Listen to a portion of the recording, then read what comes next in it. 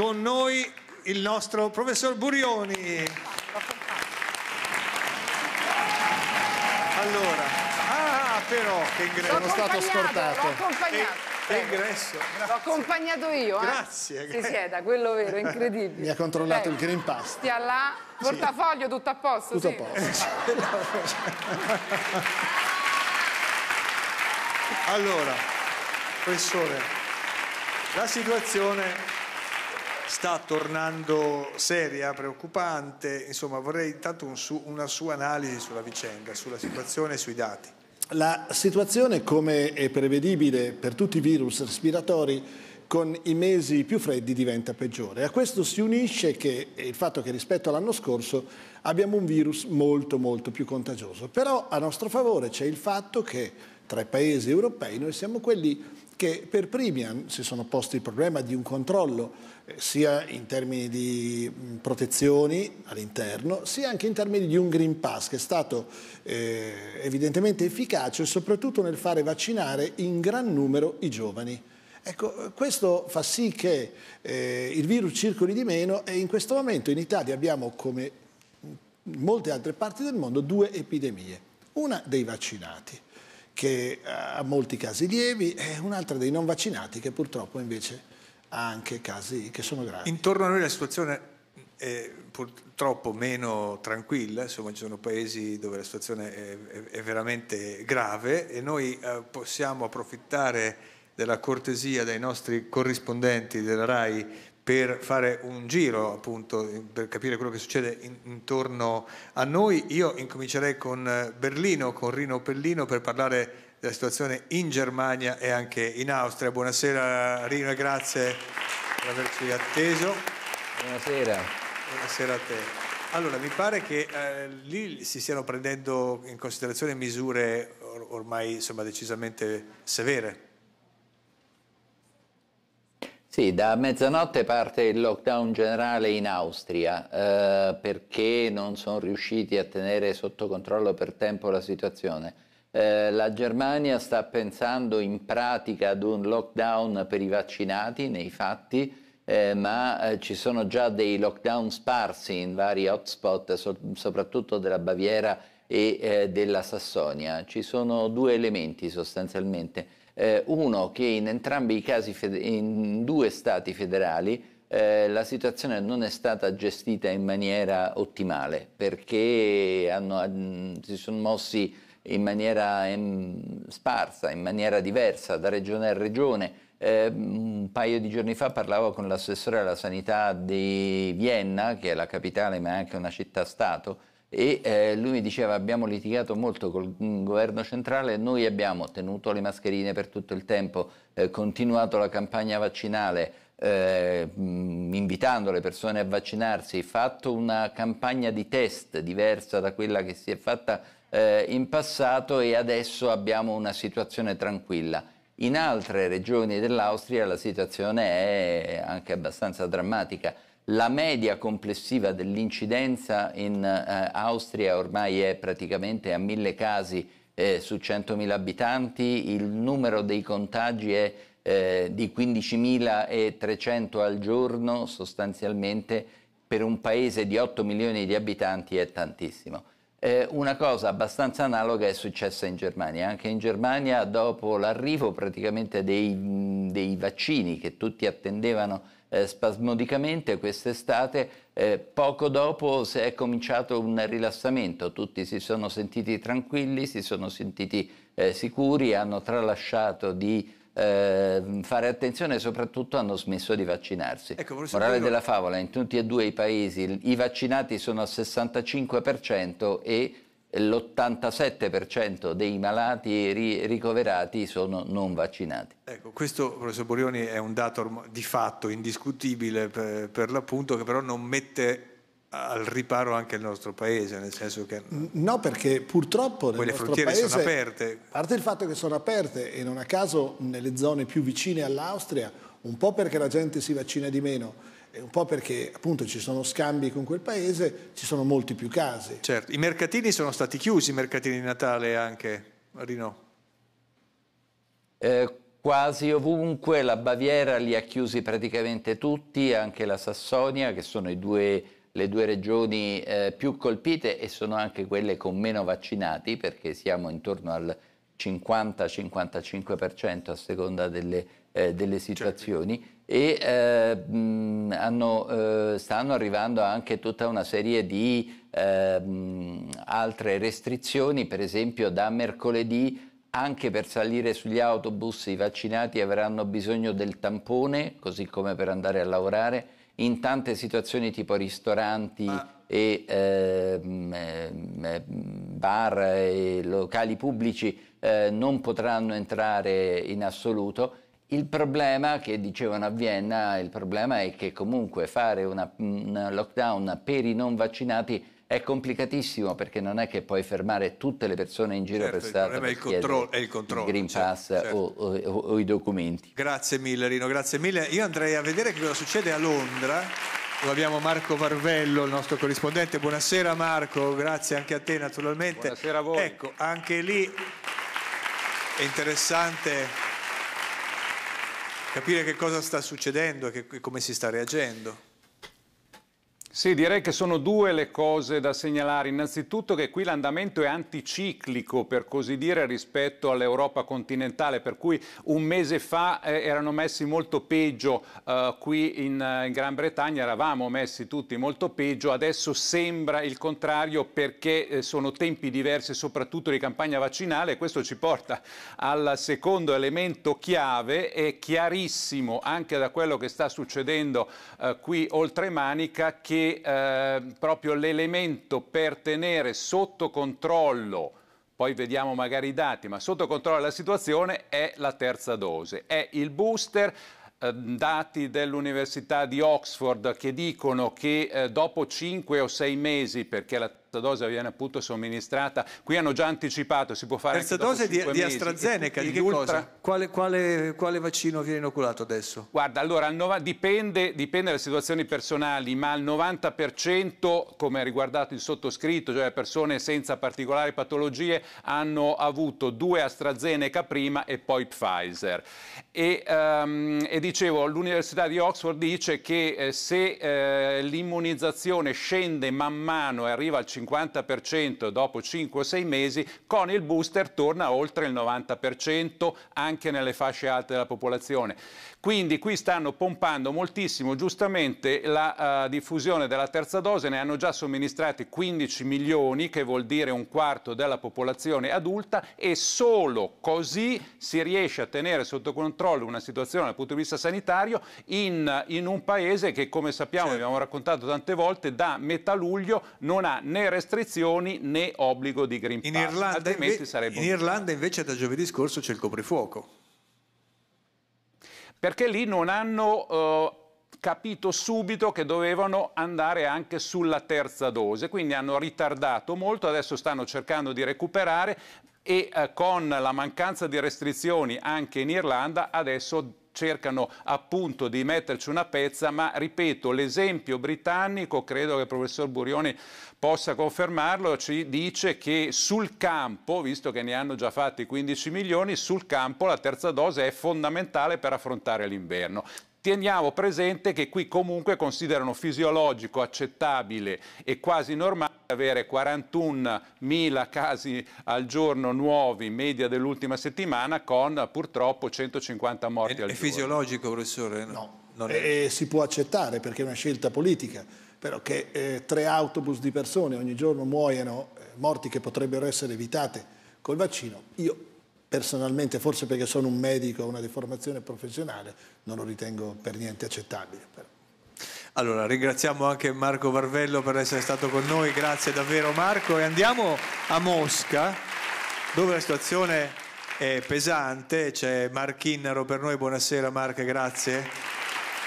Ecco, lì la percentuale dei vaccinati è intorno al 50-55%, se ben ricordo. E per, per, perché c'è questa... È un po' meno. Addirittura po meno. inferiore. Ecco, per, perché c'è questa ritrosia nei confronti del vaccino? Perché non si è riusciti a far passare appunto il messaggio della necessità?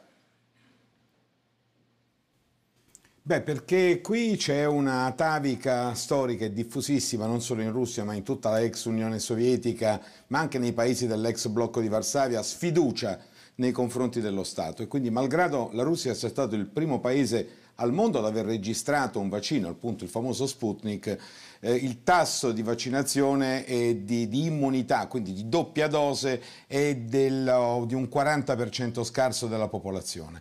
Eh, e quindi abbiamo 37-38 mila casi stabilmente al giorno di nuovi contagi, eh, quindi più o meno i numeri dell'Inghilterra, però con un numero 10 volte superiore di morti. Siamo intorno ai 1250 morti al giorno. E questo perché? perché ormai si è capito, nell'85-86% eh, dei casi, quelli che sono in terapia intensiva o che muoiono, eh, non sono vaccinati, non hanno ricevuto nemmeno la prima dose. Altro dato sconfortante è il fatto che molti di quelli che sono in terapia intensiva o che sono morti, chi è in terapia intensiva, ha, molti hanno dichiarato, hanno ammesso di avere acquisito, acquistato un certificato fasullo eh, di vaccinazione. Perché? Perché qui si era introdotto inizialmente eh, a, a, ottobre eh, una idea di eh, avviarsi verso un Green Pass all'italiano, c'è stato un lockdown parziale che è durato una decina di giorni a cavallo tra ottobre e novembre, poi si è riaperto lentamente, ma ci si è resi conto che eh, eh, la campagna per un Green Pass si sarebbe scontrata con una eh, massiccia eh, mole di certificati falsi, il che ha fatto in qualche modo recedere il governo e anche il Parlamento dal discutere l'introduzione di un Green Pass all'italiano, perché di, qua, di questo si sta parlando, e di rimandare il tutto intorno a metà dicembre per capire prima delle feste, delle feste di fine anno, che cosa succederà. L'andamento della la curva è un po' come in Inghilterra, la curva dei contagi si è stabilizzata intorno ai 37-38 mila casi al giorno, i morti eh, eh, anche, ma non diminuiscono, siamo intorno ai 1250. La cosa interessante, questo giusto per terminare, c'è uno studio che è stato condotto nel corso del mese di ottobre a San Pietroburgo, secondo il quale eh, il, eh, risulta che la, tra la popolazione dei non vaccinati il 78% nella regione di San Pietroburgo ha sviluppato gli anticorpi. Se si considerano però anche i vaccinati, allora risulta che l'83% della popolazione sarebbe immune, il che farebbe pensare che siamo di fronte ad una sorta di immunità di gregge raggiunta solo in minima parte grazie ai vaccini e in massima parte al fatto di eh, averla fatta consapevolmente o inconsapevolmente correre. E questo è uno dei motivi per i quali adesso si sta ragionando eh, sulla introduzione o meno di un Green Pass all'italiano. Si attenderà eh, metà dicembre per Naturalmente non è così. Purtroppo l'immunità che viene conferita dall'infezione alla successiva guarigione è meno robusta di quella che viene conferita eh, dal vaccino, per cui anche chi si è ammalato ed è guarito deve dopo sei mesi assolutamente fare una dose di vaccino, altrimenti sono guai. Grazie Mark Inero, grazie per essere stato con noi. Professore, abbiamo parlato prima con eh, Marco Marvello della terza dose, della necessità della terza dose ed è proprio questo in qualche modo l'argomento del, della sua lezione che vado ad ascoltare. Grazie.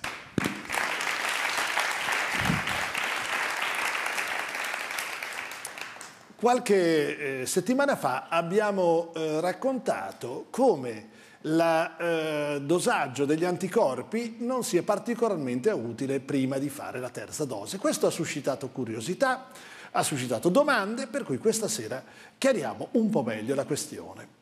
Per chiarirla dobbiamo eh, illustrarvi un concetto, il correlato di protezione. Sembra una cosa molto complicata e invece è una cosa molto semplice.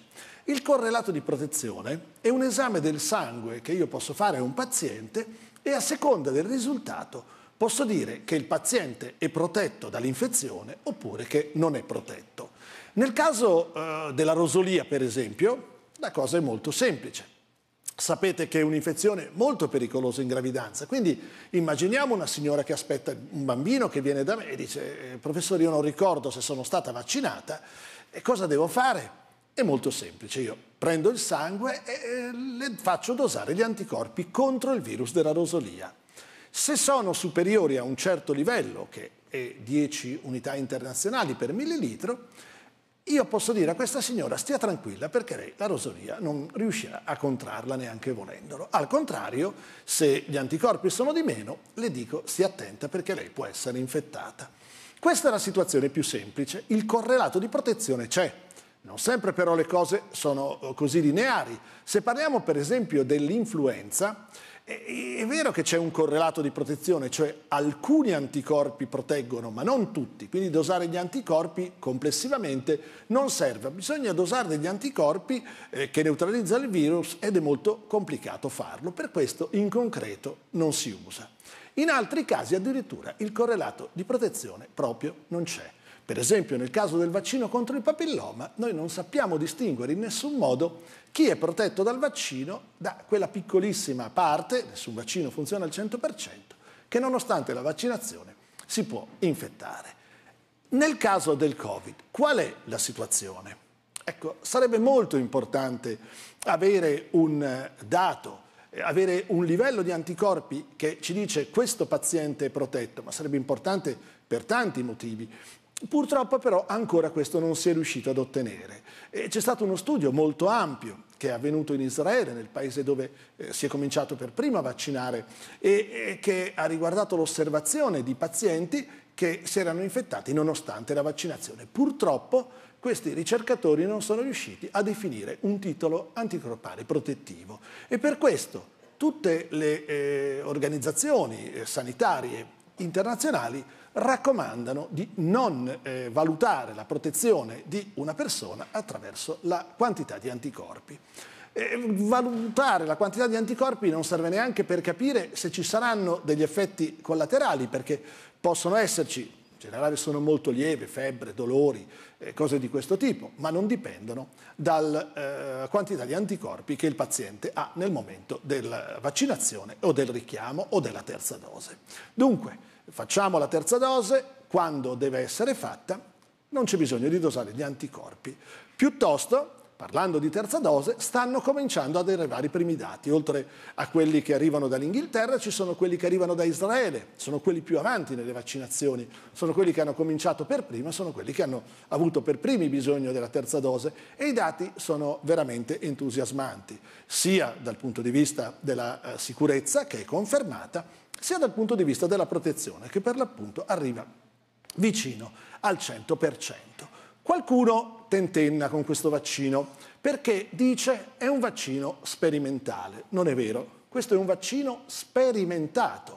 E per dimostrarvelo prendiamo un esempio. Uno degli ultimi vaccini approvati è quello contro il meningococco di tipo C. È stato approvato nel 2015 nel Regno Unito e poi eh, poco dopo anche in Italia. Questo vaccino, che facciamo ai nostri figli, l'ho fatto a mia figlia, è stato somministrato nel Regno Unito a 5 milioni di dosi. Quindi la platea dalla quale si possono ricavare indicazioni sulla sicurezza sono 5 milioni di eh, somministrazioni. Bene, il vaccino contro il Covid solo nel Regno Unito è stato somministrato in 110 milioni di dosi. Se poi vogliamo rimanere in Italia, prendiamo uno dei vaccini che è obbligatorio per i nostri bambini, come quello contro il morbillo. Questo vaccino è stato somministrato negli ultimi vent'anni più o meno in un numero un po' inferiore a 20 milioni di dosi. 20 milioni di dosi per il vaccino contro il morbillo, ma le dosi somministrate in Italia del vaccino contro il Covid sono 94 milioni. Quindi questo vaccino non è sperimentale, è sperimentato. Ora qualcuno potrà dire, ah, ma non sappiamo quali sono gli effetti a lungo termine, ma non esiste nessun vaccino nella storia dell'uomo che abbia dato effetti a lungo termine oltre le due settimane dalla somministrazione. E non esiste nessuna plausibile ragione scientifica che faccia pensare che questo vaccino possa avere effetti a lungo termine, mentre molto più preoccupante è eh, il potenziale effetto a lungo termine del Covid. E dunque, se voi entrate in una farmacia e cominciate a scegliere tra gli scaffali un farmaco, sappiate che nessuno di quei farmaci è stato sperimentato tanto quanto questo vaccino che è stato somministrato sotto controllo medico a miliardi di persone. Dunque, con tranquillità, fatevi la terza dose quando dovete farla, ma soprattutto mi raccomando, chi non l'ha fatta, faccia la prima dose, perché in questo momento il virus sta ricominciando a circolare e sarebbe veramente un peccato ammalarsi e magari rischiare la vita, eh, mentre abbiamo un vaccino sicuro e efficace che ci può tenere tutti quanti protetti. Grazie. Grazie professore, grazie per la sua chiarezza. Grazie. grazie.